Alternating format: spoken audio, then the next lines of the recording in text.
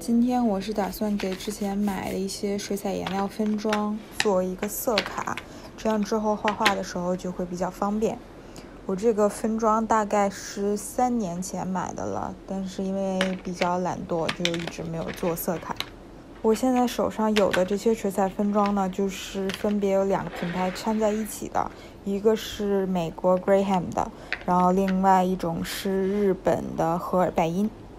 我做色卡的方法，像这种圆形的分装，就是按它装盒的分布来涂色，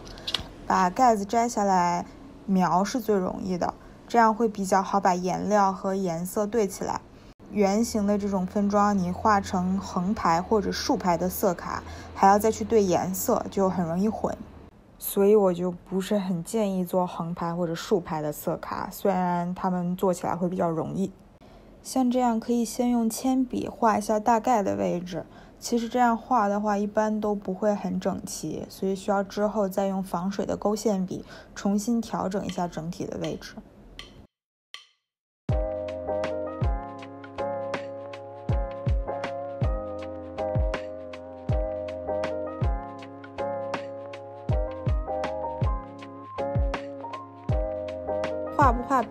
高光部分都是看自己喜欢，只是比较好看，所以我就顺便留了高光的位置。其实也可以用留白胶，或者之后再用高光笔做，都是一样的。深色和浅色的部分也是，我是为了看薄涂和厚涂的效果的差别，不做都是可以的，根据个人的需求来做就好。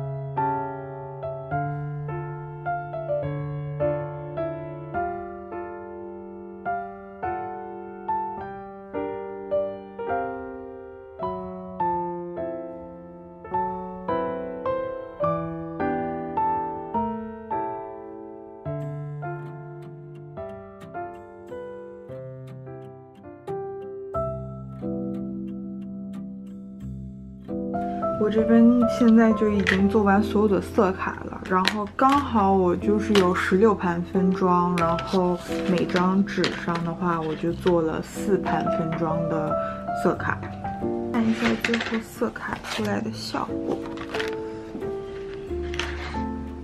最后的话大概就是这样，有一些白色的分装我就没有画到很仔细，因为白色其实在纸上也看不出来很大的不同，而且白色的部分其实一般我画画都是用白色墨水来做的，就是高光的部分。我一般不会用这种固体的水彩，因为它太透了，就是你做不到高光的效果。就是这样的话，我是加了这个数字，这样就比较好对，然后它。